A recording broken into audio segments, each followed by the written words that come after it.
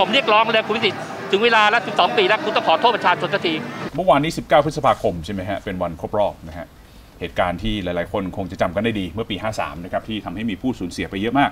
เพราะฉะนั้นเมื่อวานนี้ที่บริเวณแยกราชประสงค์เนี่ยเขามีการจัดกิจกรรมนะครับ12 ปี 12 ปีสลายการชุมนุมคนเสื้อแดงเออเมื่อวานนี้มีหลายท่านไปร่วมเนี่ยมีหลายท่านมีหลายกลุ่มอ่าหลายกลุ่มแล้ว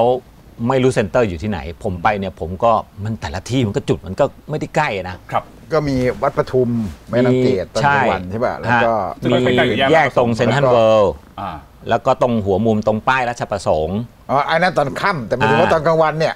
จะไปก็จะมีเอ่อแม่น้ำเกตก็ทำบุญที่วัดปทุมฮะเอ่อกับแหวนใช่ไหมแล้วก็แล้วก็เคลื่อนขบวนเอ่อพกไป แล้วก็พวกเอ่อปฏิดาอ่าพวกนัทวุฒิเขาไปทำที่วัดเสมียน ใช่ แล้วก็มีกลุ่มนาฏศิลป์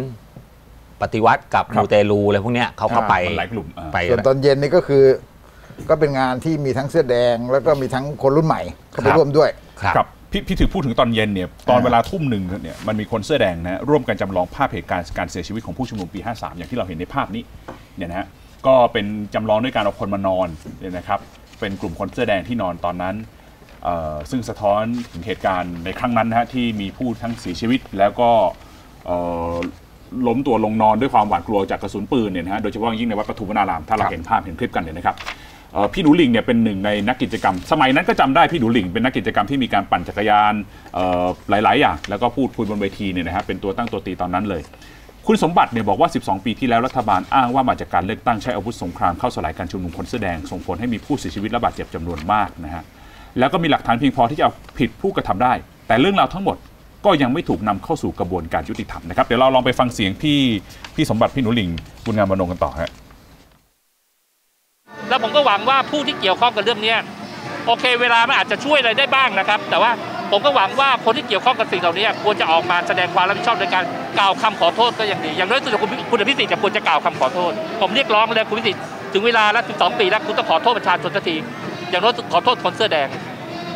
จะโดยตั้งใจไม่ตั้งใจอะไรเท่านั้นก็แล้วแต่ แต่ว่าตอนนั้นคุณเป็นผู้นำรัฐบาล ครับพี่หนูหลิงบอกนะฮะว่าถึงแม้ว่าความยุติธรรมเนี่ยทั้งหมดเนี่ยยังไม่ถูกนำเข้าสู่กระบวนการยุติธรรมแต่อย่างใดสำหรับผู้สูญเสียเนี่ยนะฮะดังนั้นเมื่อความไม่เป็นธรรมยังปรากฏพวกเราในฐานะผู้รอดชีวิตจากเหตุการณ์ดังกล่าว จึงมารวมตัวกันทุกปี เพื่อย้ำว่าเหตุการณ์ได้เกิดจริง และยืนยันว่าจะไม่หยุดพูดถึงเหตุการณ์ครั้งนั้น จนกว่าความยุติธรรมจะเกิดขึ้น ครับก็อันนี้ก็มีคนไปคับข้างอยู่เหมือนกันนะฮะ มีทั้งหมอทศพร มีทั้งคุณรองสิมันโรมคือสองพักอะ ครับ แล้วก็เอ่อที่สำคัญก็มีจะมีคนรุ่นใหม่ เช่นกลุ่มเกียรติอุดมไม่ก้มหัวให้เผด็จการ แล้วก็กลุ่มกิจกรรมนักเรียนออกแถลงการร่วม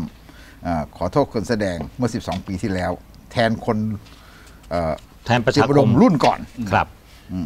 พี่ชูวัฒน์นี่ก็อยู่ทั้งทั้งวันเลยใช่ไหมเมื่อวาน เออผมก็ไปช่วงเย็น อ่าช่วงเย็นฮะ ไปไปร่วมตรงนี้นะเอ่อแต่ว่าแถลงการเนี่ยเป็นการแถลงการที่มีต่อเหตุการณ์ Big Cleaning Day โดยเฉพาะด้วยอ๋อาแถลงการของเกียมอุดมอะหลังที่มันเพราะว่าสลยเขาชุบมอกนุมว่าประชาคมเกียมอุดมตอนนั้นเนี่ยไปเข้าร่วมกับ Big Cleaning Day ซึ่งมันมีส่วนในการหมิ่นแคลนและทำลายหลักฐาน แต่มันคนละรุ่นกันแล้วนะ มันคนละรุ่นกันคนละเขารุ่น ขอโทษแทนรุ่นเขาพี่ขอโทษอะแทนอะซึ่งก็ ซึ่งก็เป็นสัญลักษณ์ที่ดีครับอะครับแต่ว่าเมื่อวานเนี่ยการจัดงานมันมีหลายจุดใช่ไหมที่พี่บอกก็มีวัดเสมียนใช่ไหมที่ที่กลุ่มคนแสดงกลุ่มคุณนรุกล้วยจัด มีวัดโสมด้วยนะ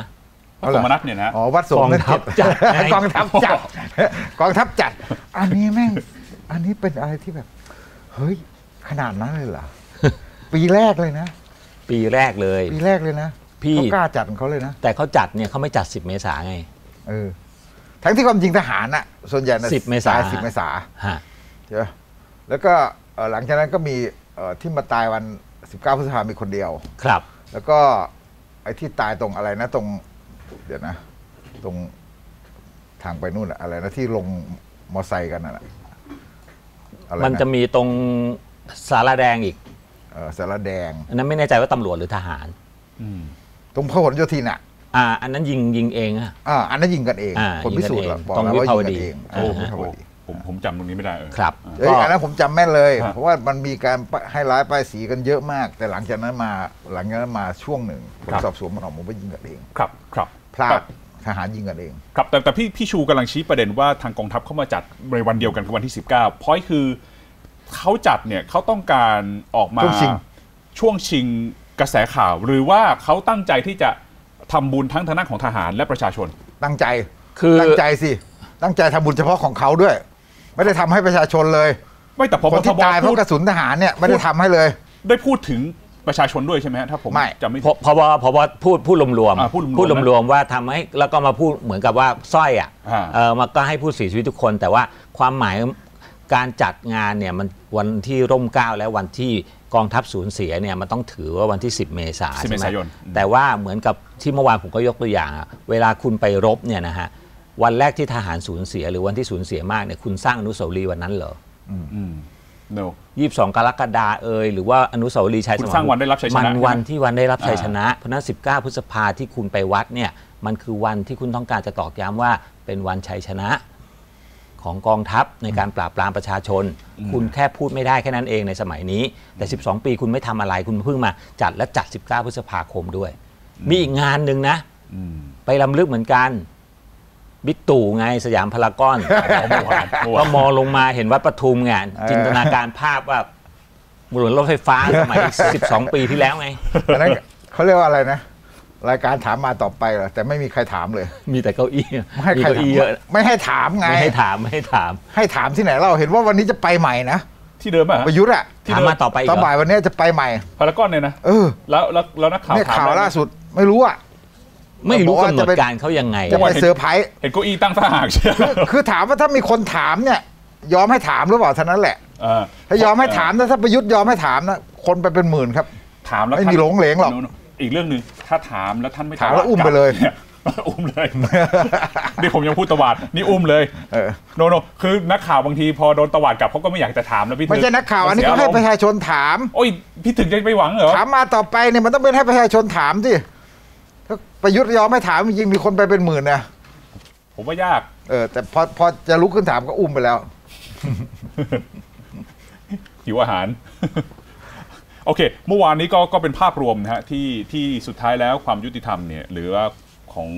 เอ่อกลุ่มคนที่สูญเสียก็ยังคงรออยู่ต่อไปครับนะครับอ่าพี่หนูหลิงก็รณรงค์มา 12 ปีฮะก็ยังต่อไปอีกนะฮะแต่ว่าหงการจะได้เห็นกาควารมจริงเร็วๆนี้คืออย่างอย่างแถลงการของเกียรติอุดมไม่เอาเผด็จการเนี่ยผมคิดว่ามันมีความหมายสำคัญว่าภารกิจหรือการตามหาความจริง หรือว่า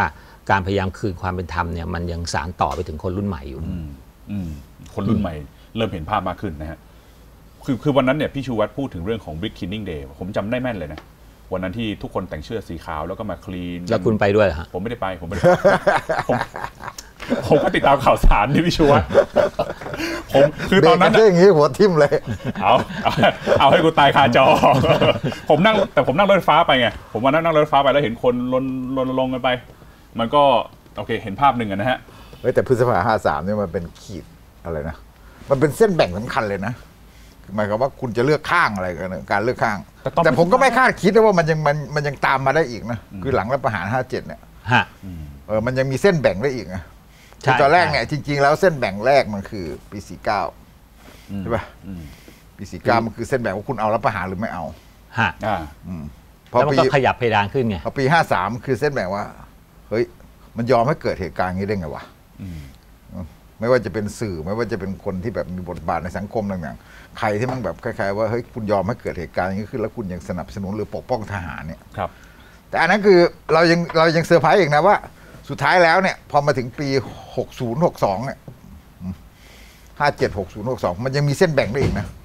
มันยังมีคนข้ามกลับมาได้อีกนะอันนี้คืออันนี้เป็นเรื่องยาวส้นแบ่งที่ติดตรงนี้คือคนข้ามหมายกลับถึงว่ามาคนที่อยู่ฝั่งที่เคยแบบ สนับสนุนการรัฐประหารสนับสนุนการรัฐประหารแล้วกลับมาอ๋อเพราะว่ามันเหมือนเห็นภาพเออ ไม่ใช่อะมันมีหลายเหตุผล มันเคลื่อนตัวของมันจมันริงมีหลายเหตุผลที่มันเปลี่ยนแปลงครับผมว่ามันผ่านไปสัก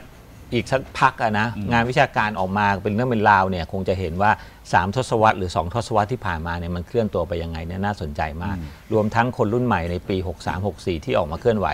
ผูกโยงยังไงกับเหตุการณ์ปี 53เนี่ยผมคิดว่าก็น่าสนใจ เพราะเอ่อ ส่วนใหญ่ก็คือเป็นนักเรียนต่างจังหวัดที่เข้ามาเรียนในกรุงเทพด้วยอะไรด้วยต่างๆเป็นลูกหลานคนเสื้อแดงด้วย อย่างเมื่อวานที่เอ่อ Voice TV เขาทำสกู๊ปไปสัมภาษณ์คนที่เป็นลูกหลานคนเสื้อแดง และวันนี้ก็มาเคลื่อนไหวอะไรเงี้ยมันก็เห็นว่ามันมีความโยงกันอยู่ว่าผลกระทบมันมาจากมันปี53 เหมือนกันเออแต่คนรุ่นใหม่มันก็มีทั้งลูกหลานคนแสอแดงและลูกหลานสลิม ก็ทั้งใช่สองฝั่งเลยก็ทั้งทางฝั่งเพราะว่าทั้งสองฝั่งได้รับผลกระทบเหมือนกัคืนออย่างแล้วอย่ามันงกลายอเป็นย่างเนี้ผยลกระทบร่วมกัน อย่างเนี้ยคุณบอกได้ไงว่าเด็กเตรียมอุดมเนี่ย เขาไม่ใช่ลูกหลานของคนที่เคยไปบิ๊กคินนิ่งเดย์ใช่ไหมอ่าไม่งั้นเขาจะรู้สึกได้ยังไง ครับครับ